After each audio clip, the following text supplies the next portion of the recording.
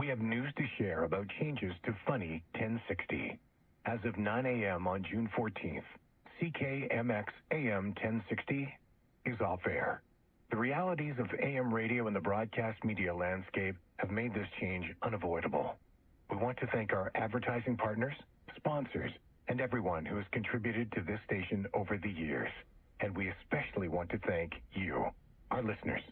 Thank you for tuning in and sharing a few laughs. We hope we made your days brighter. Thank you, Calgary, for listening to CKMX AM 1060.